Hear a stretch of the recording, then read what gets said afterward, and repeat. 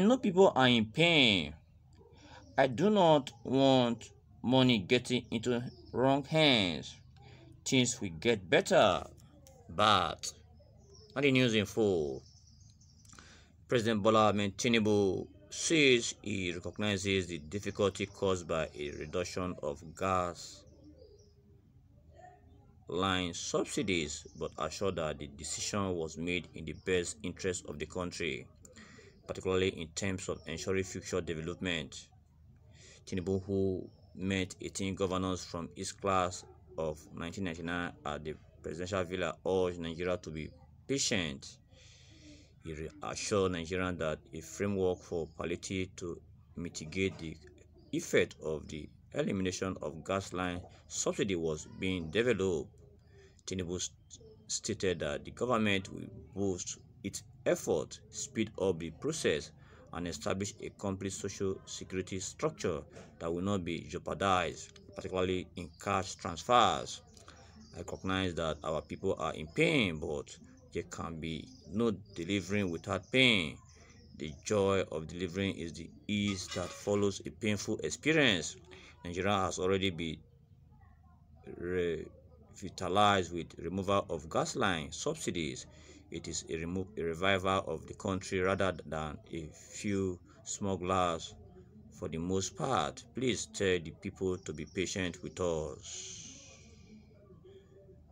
A small thing there for my listeners out there. What should be your take on the issue at hand?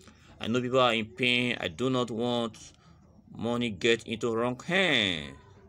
Things will get better. But please react to that if you do so believe. Do justice to every of your reactions. Various opinion. They're already popping in from the comment section. The first one is from Aula Wale. See, this is the type of leader Nigeria need. Leader that will realize it people are its people are suffering and take decision action may god give you strength strong okay strong head and long life to steer the ship of this country to promised land we'll see to that then from guess may god guide you to do the right thing then from age this age say and you are the cause of the pain wicked drug baron okay then the Lord Oj says, Now so Buhari talk am, I dey your pain, I dey your pain, and T and Tinubu thief continue, I dey your pain, and I, I dey your pain. May God give you more pains that the one of you are giving Nigeria. It's not be small thing. All these people, they're wicked, sha. They all dey talk as if they mean well for the, for this uh, country.